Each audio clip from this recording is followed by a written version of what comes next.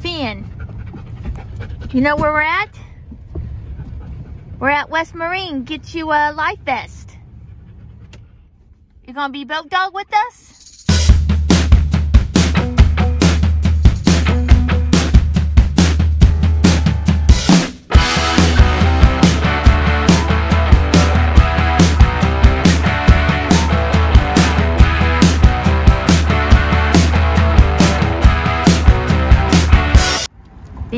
Go shopping. Very exciting for him. Phinn, need you hold together. You're never gonna make it as a service dog. Uh, uh, extra large and an orange. I don't know, it looks a little loose on him. Maybe we should try the large. No, man, it's tight. It's here. tight down there. He, Phinn's got a big chest. He's got a big chest, and, and we can tighten this. up. All right. Maybe we'll go with the extra large. Phinn, you like your new vest? He's been wearing it pretty good. He does not mind wearing that life jacket at all. He feels pretty. That's exactly what it is. Are you gonna let us take it off of you? No. You probably won't. He'll probably want it back on. He'd be like, that's my life vest. Decided Phinn's first boating experience should be in the dinghy. So we launched the dinghy from our neighborhood and we're going to take him on a short trip over to the marina where we keep the boat. All right, Phinn, you're doing good. He had to have a little encouragement to get on the boat, but now he's got the hang of it, don't you? As expected, it took a little encouragement to get Phinn onto the boat. Uh, Patricia actually helped him on.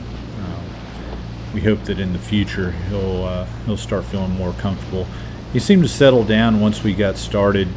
It's about a 20-25 minute ride to the marina, um, and the first part of it's going to be on open lake. And he seemed to handle the chop pretty well. Not a lot of excitement. I think he was just kind of happy to be with us. Uh, once we get a little closer to the marina, we get in the channel and we're in a no wake zone, so it slows down and it's a little bit more of a mellow ride. Phinn's uh, four years old and he's a Belgian Tervuren. Uh, real smart dog, learns really quick, but it's been a big uh, question of ours whether he was going to make the move to the boat. Uh, it's kind of one of those things that we uh, had in the back of our mind. Um, will he be able to adapt? So this is a big day for him, and we're hoping that the outcome is is really good.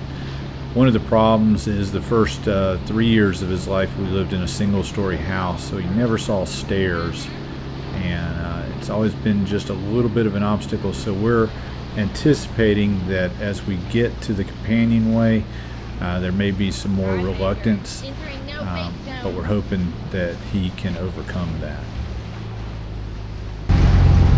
He likes the, the slower speed better.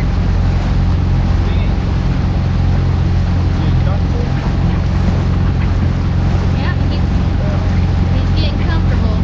I got this. Yeah, he's looking around. Not being all scared. Fortunately for us, the slip next to us is empty, and uh, we decided just to kind of nose the uh, boat in. One of the things Yeah, we like about this there. True Kit Discovery is this ramp on the front, which should make it easier for him to get in and out once we get him used to it.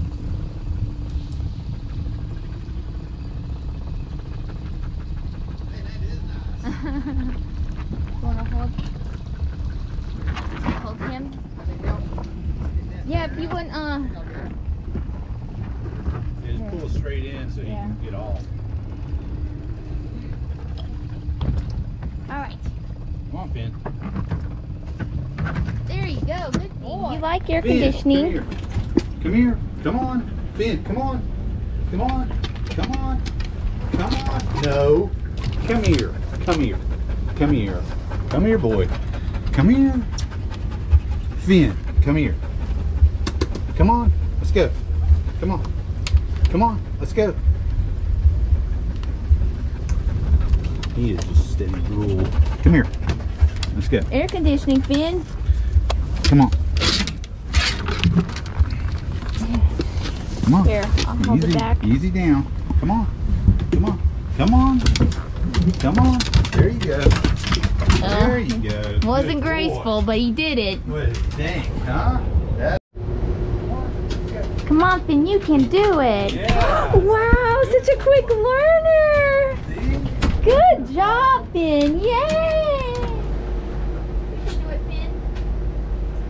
All right. Outside. There you go, good boy. Phinn's on a boat. He's having a big adventure day. He's doing good.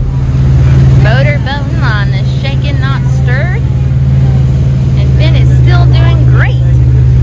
Uh-uh, not on furniture. Got some uh, views of Galveston in the background.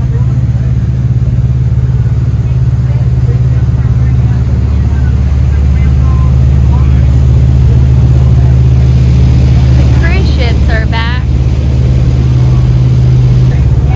Phinn is adapting well. He is just chilling out there. Good job. Right. Looks like Phinn has passed the test and he will be joining us on CAVU.